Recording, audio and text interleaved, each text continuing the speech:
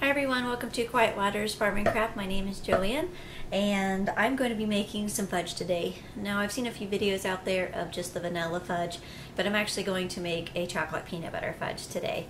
Um, now it's really up to you what kind of brand of peanut butter you want. You just need a small jar and I actually got this on sale, the um, Peter Pan, and it is a 16 ounce jar and then I have um, just chocolate it's chocolate fudge icing. So if you want to pick up the store brand or you want to get the Pillsbury or you know the Duncan Hines or whichever one that you want, that's completely up to you.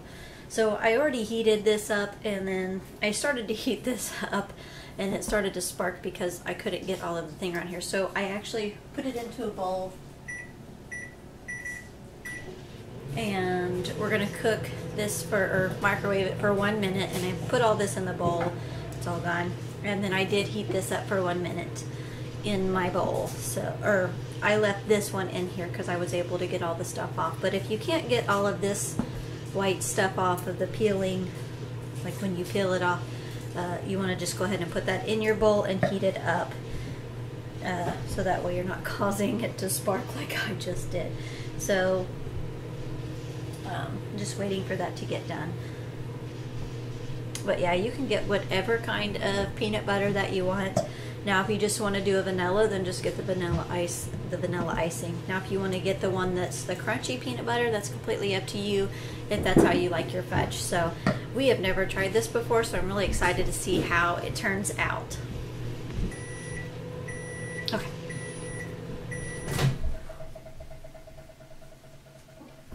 All right, and we are pretty creamy in there. Like I said, you just want to do them each for a minute. So I'm going to angle my camera down here. Move my strap back. Alright, let's angle this down here. Okay. So that. So this is pretty creamy here. So I'm going to just pour my icing in there. Now, if I was you, I would go ahead, if you get both of these off and you're heating them up, I would just do this yourself and not let your children because they could possibly um, burn themselves. So, uh, just keeping in mind that, get everything in your bowl and then let them stir it. Okay. Let's give this a quick little stir. And I kind of like how it has the little swirls in it. So I might not fully mix every bit of it up just to where it kind of gives it a little bit of contrast in the bowl and looks really neat. All right. So I'm going to get my pan ready, so I'll be right back. Okay, so I have gotten a small ceramic bowl here, and I'm just going to line it with the parchment paper. Okay,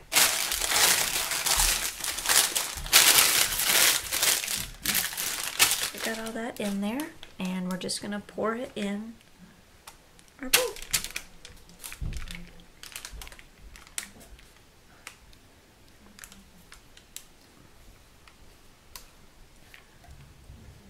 It's going to look so neat.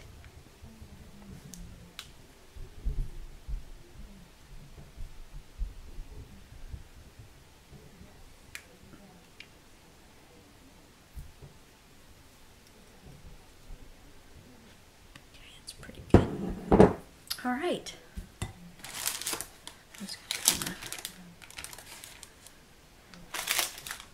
That looks good. I don't want to mess it up too much.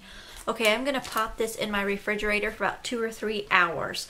Now, it could just take two hours uh, depending on the level that you want. But I'm going to leave mine in there for at least two hours and then I'm going to check back on it and see what it looks like. So I will meet you back when this gets done. Okay, so we are back. It's been about, it took about three, three and a half hours.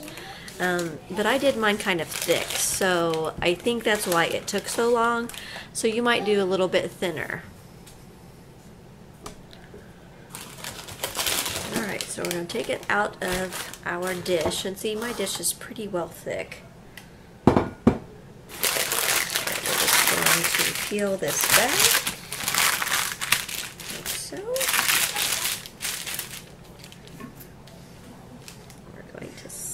Taste it. Now it kind of is still a little bit soft, but not too bad. And it is pretty thick if I hold that up. It's really thick. Probably want it about half that size. So I think next time I'll do a bigger dish so that way it's not so big. But it cuts really smooth just like the other kind of fudge does.